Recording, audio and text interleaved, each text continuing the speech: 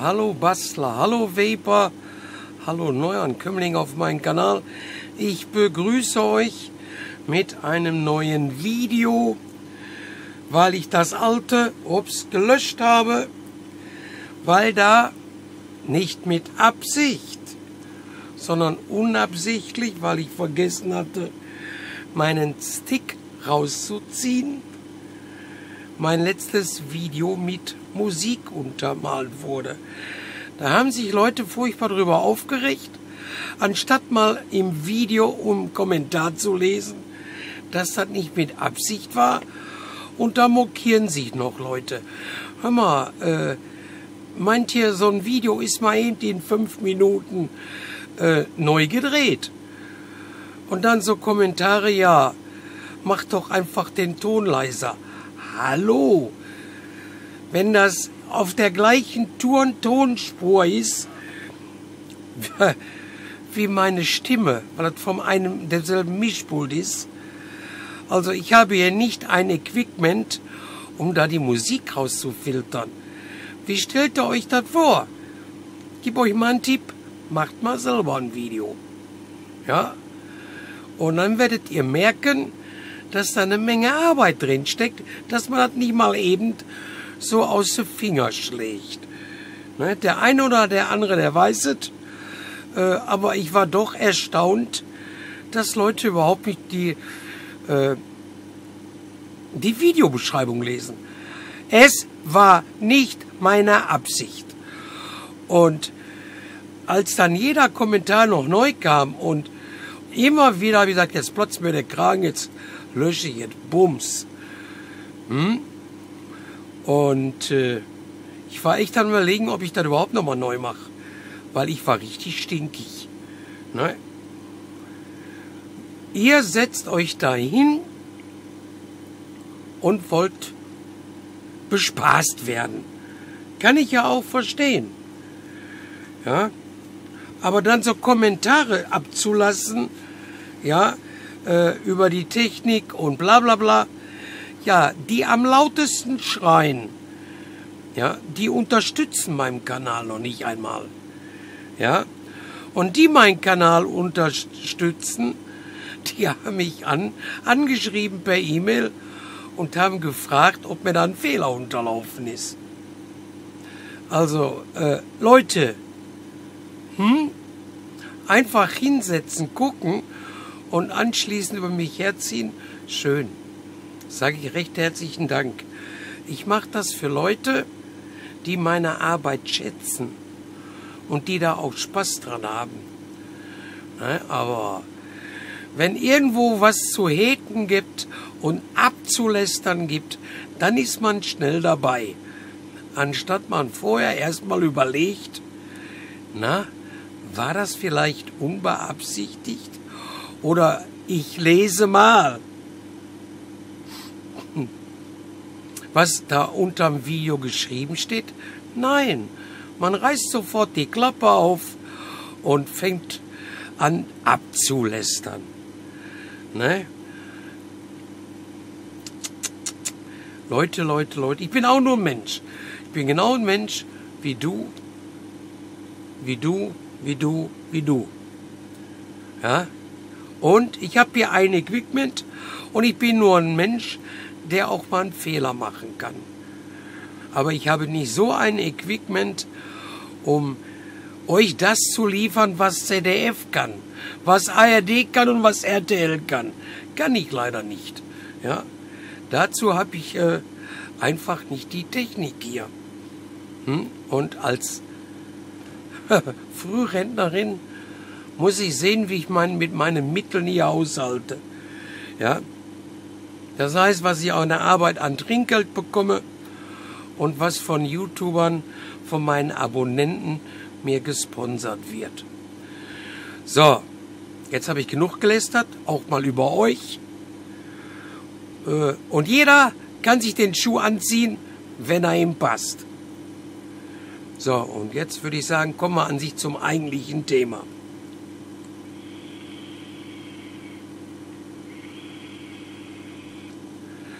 Es dreht sich um Tubes. Ne? Einmal Tube mit einem ganz normalen 510er, wie jeder kennt. Eine Tube ist ganz einfach erklärt. Na, so.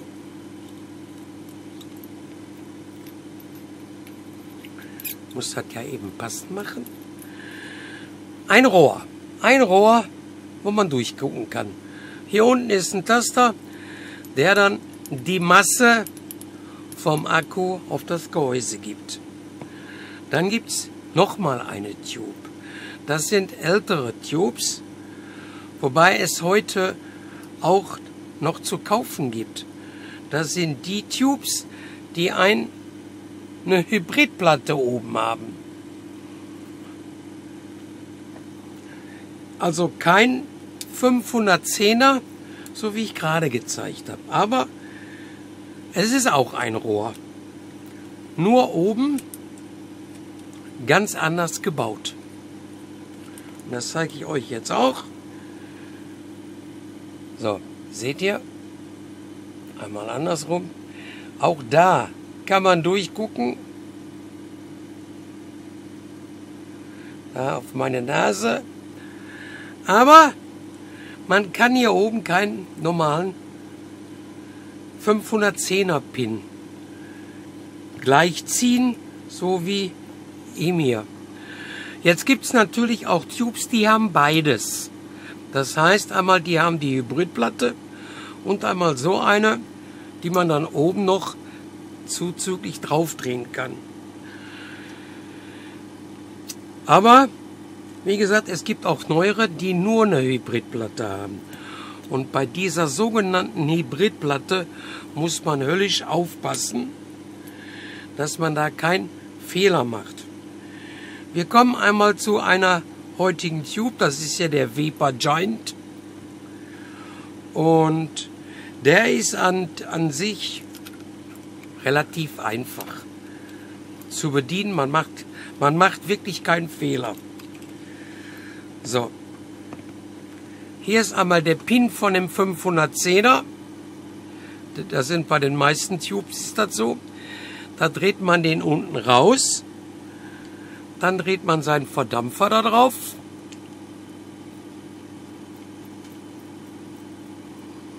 So, und dreht jetzt den Mittelstift, den Pluspol, oben auf dem Plus vom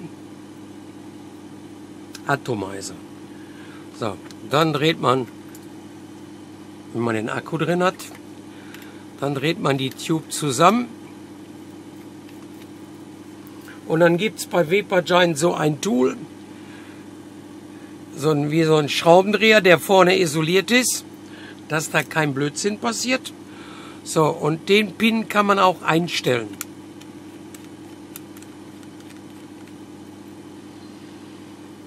So. Ich drehe jetzt erstmal ganz locker. Ups. Das ist jetzt der Vorführeffekt hier. So, ihr hört's. Der Akku rappelt. Dann dreht man unten den Hammer, den Massehammer, der isoliert ist. So, und jetzt rappelt's nicht. Und wenn ich jetzt hier drauf drücke, dann gebe ich Masse auf dem Gehäuse vom Akku.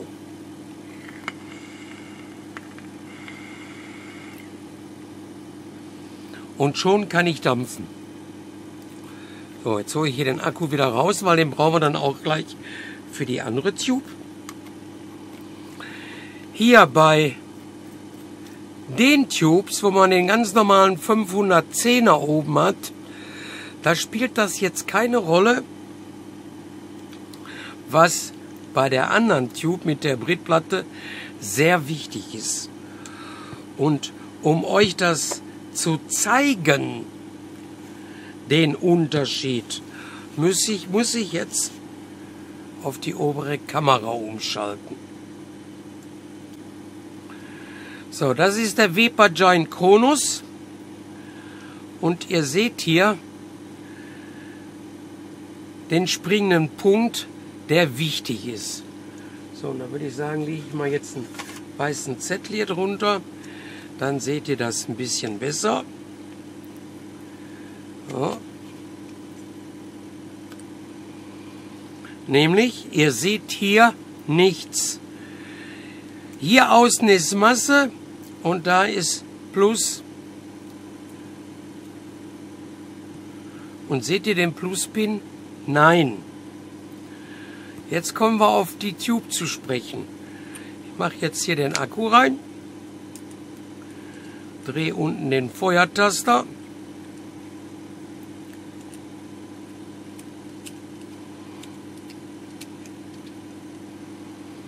so fest, dass der Akku fest ist und man kann hier feuern.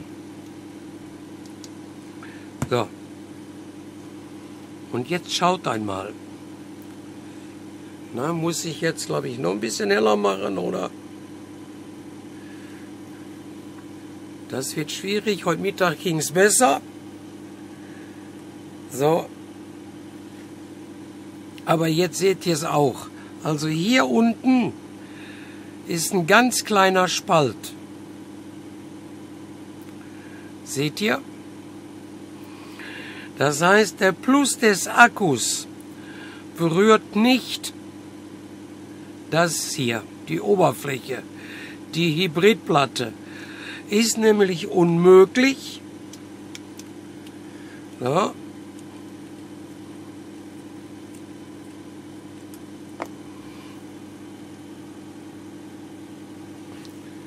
weil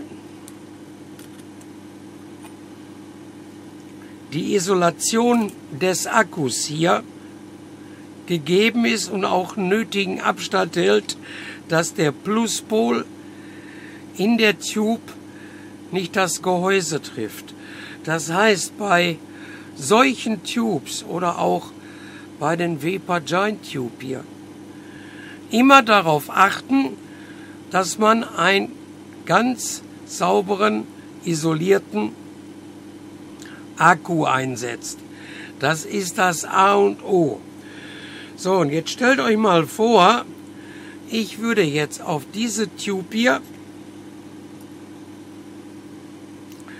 den Vapor Giant draufschrauben und von hier kommt jetzt der Akku. Ja. So, und dazu muss ich wieder näher fahren. So, und was würde dann passieren? Wenn das Gewinde in der Tube steckt,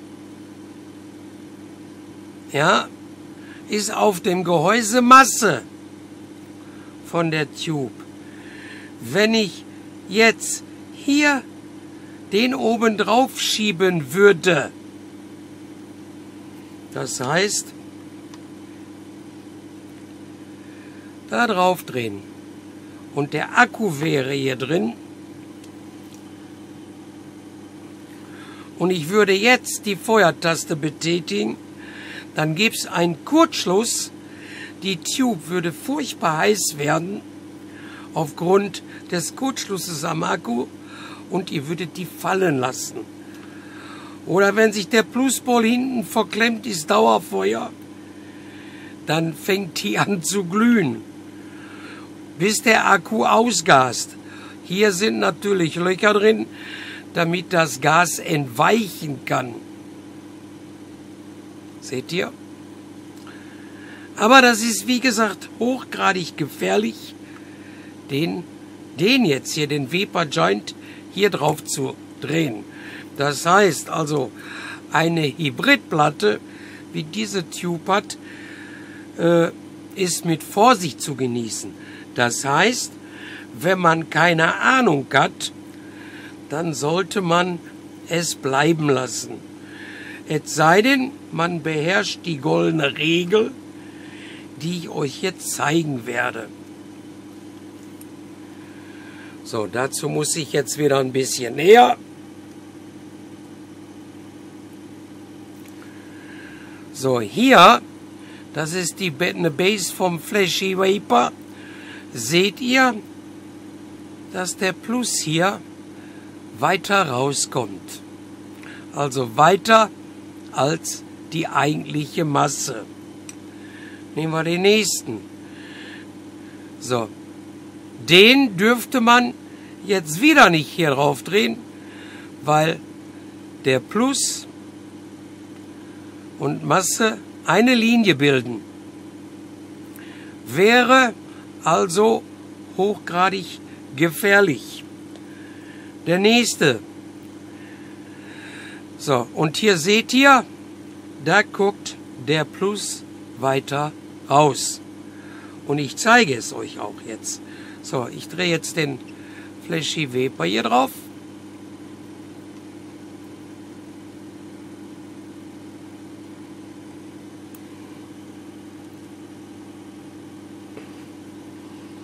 So, jetzt nehme ich den, ja, man sollte einen Akku reintun, ne?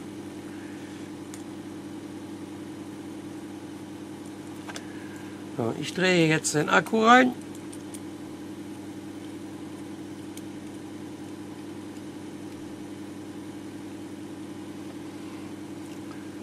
So, und jetzt passt auf.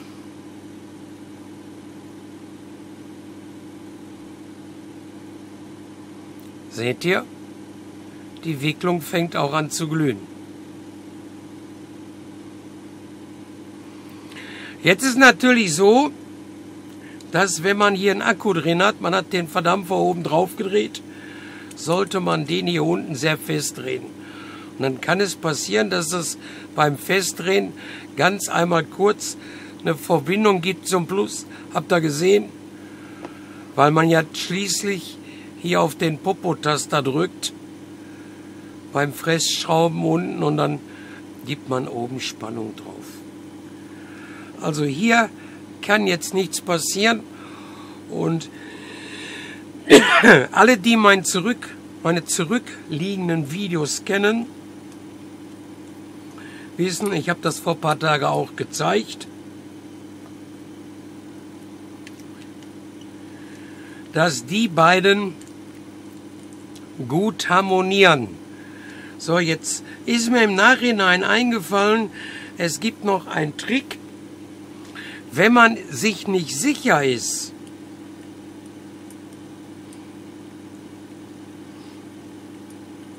ob der jetzt weit genug rauskommt, dann nimmt man sich kurzerhand ein Heatsing. So, und man dreht den dazwischen So. Und jetzt sieht man,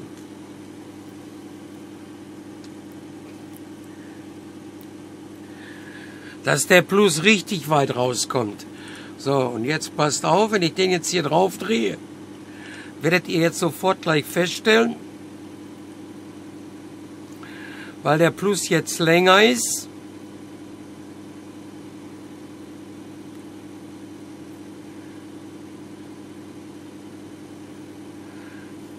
dass man hier unten gegebenenfalls, der sitzt jetzt so fest, der würde jetzt Dauerfeuer machen. So, ne? Also muss man da auch den richtig setzen. Aber was ich euch zeigen wollte, ist was anderes. Dazu muss ich mal weiter weg. Um euch das zu zeigen. So, ich drehe den jetzt einfach mal bis zum Anschlag.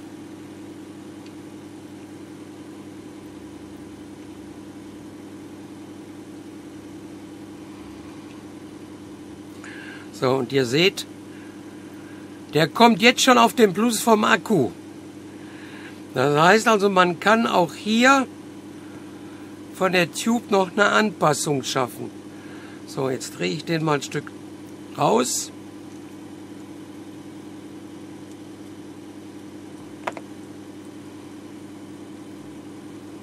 Und seht ihr, schon sitzt er auf, kann dann hier unten wieder nein, geht, lässt sich nicht.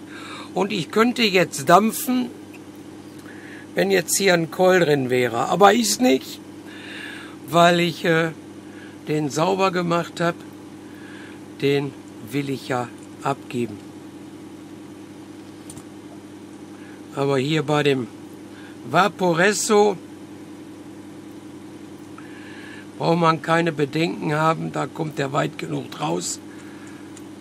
Habe ich schon probiert, ist an sich eine schöne Sache.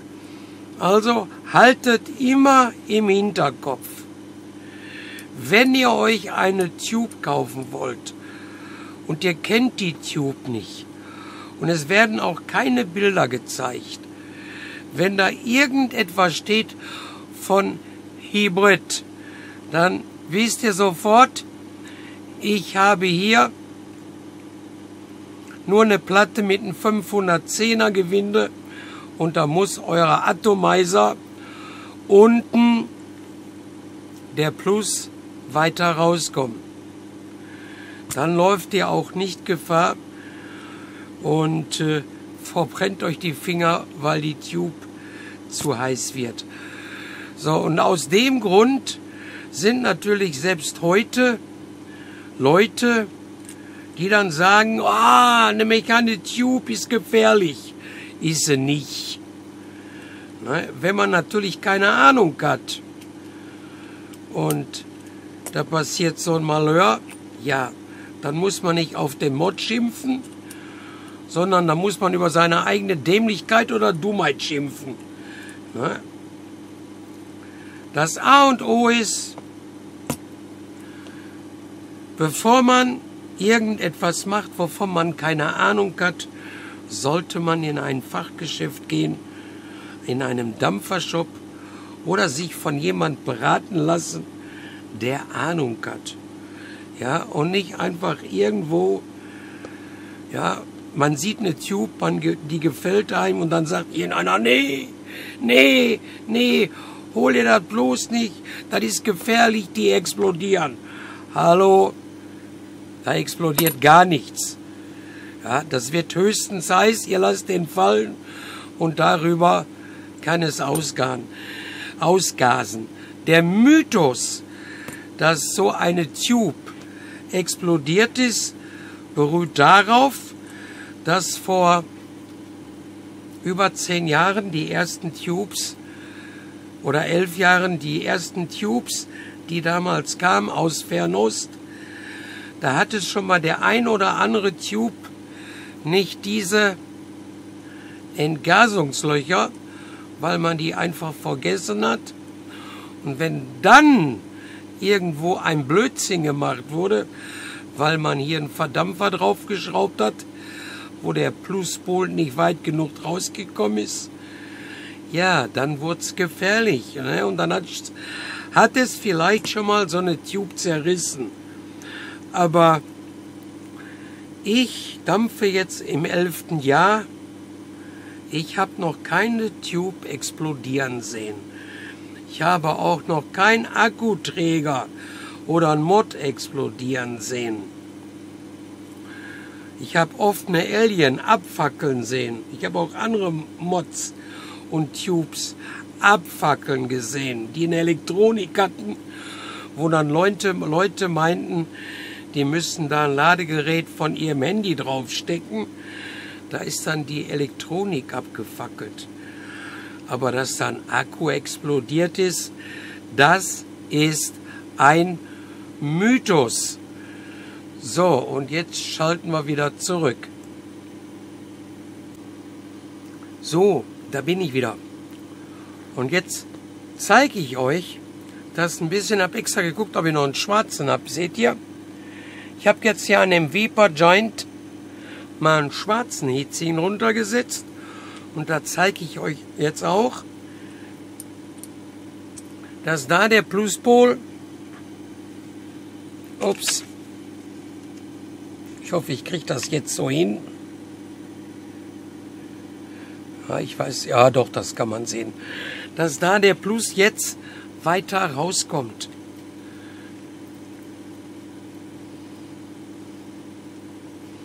Und schon,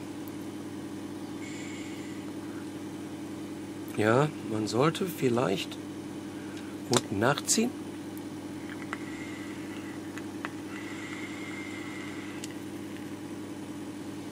Und schon kann man den Vapor Giant auch hier drauf dampfen.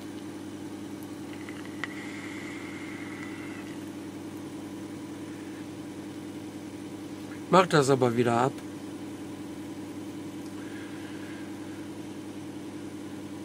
Weil der Vapor Giant kommt da drauf, wo er hingehört. Nämlich auf die Tube von Vapor Giant.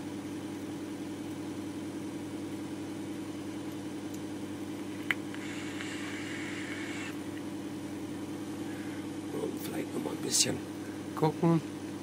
Ja. So, ich hoffe jetzt, ich habe so mal so ein bisschen Klarheit gezeigt, dass eine Tube also nicht gemeingefährlich ist, dass man vor einer Tube mit einer Hybridplatte keine Angst haben muss, dass ein das Ding um die Ohren fliegt und dass das dass die Tube hochgradig gefährlich ist. Ja, das sind Ammenmärchen. Ne? Dann könnte man auch sagen, als Beispiel, ja, jedes Kraftfahrzeug im Betrieb zu setzen ist lebensgefährlich, sollte nicht. Ja, ein Auto in Betrieb zu nehmen ist gefährlich, ja, sollte nicht. Deswegen muss man für ein Auto einen Führerschein haben, für ein Motorrad einen Führerschein, für einen LKW einen Führerschein und für andere Fahrzeuge auch. Und äh, im Grunde hatte ja mal schon mal irgendjemand mal erzählt, ja, es sollte vielleicht auch so ein, wie heißt das, eingeführt, eingeführt werden und äh, da wäre ich auch für. Ja, da wäre ich ein Befürworter. Wenn man sagen würde, äh, jeder, der dampfen möchte, jeder, der dampfen möchte, muss ein Sachkundenachweis erbringen. Ja, das heißt zum Beispiel genauso, wenn du ein, ein Hund hast, ab gewisse Schulterhöhe oder was weiß ich, ich weiß das nicht, wie das heute mit dem Amt so geht. Ja, für bestimmte Hunde, ja, muss man ja einen Sachkundenachweis erbringen, ne? Dass man in der Lage ist, ja, einen Hund zu erziehen. Ne? Es dreht sich zwar immer um den Hund, aber nicht der Hund ist der Übeltäter, sondern der Mensch. Und deswegen, ja, auch wenn mich jetzt einige Leute zerreißen werden, es ist so. Wenn ich was zu sagen hätte, jeder, der sowas kaufen möchte, meine jetzt nicht Tube, jede andere Zigarette, wie auch immer, sollte einen Sachkundenachweis erbringen. Hm? Als Beispiel in irgendein Dampfershop, was weiß ich, ja, geht dahin, zeigt seinen Ausweis, setzt sich da irgendwo eine Stunde hin, lässt sich das vernünftig erklären und erhält dann anschließend ein, ein Ausweis, wo dann drin steht, dass derjenige, welcher der Besitzer oder der Eigentümer des Ausweises an einem Sachkunde von mir aus Seminar teilgenommen hat. Aber ob es das geben wird, ich weiß es nicht. Und nicht jeder wird sich mein Video anschauen. Der eine oder andere wird dann irgendwann mal sagen, wenn dann einer ankommt, hör mal, das Ding darfst du nicht kaufen, das ist gefährlich. Dann sagt er, nö, ist er nicht. Ich weiß, was ich zu tun und zu lassen hab. Wenn du das nicht weißt, ja, dann solltest du dir mal das Video von den Diana angucken. So, das war's. So, jetzt war keine Musik dabei. Nein, war keine Musik dabei. Und äh, die Kommentare darüber will ich auch nicht lesen. Ich bedanke mich fürs Zuschauen, ich bedanke mich fürs Zuhören.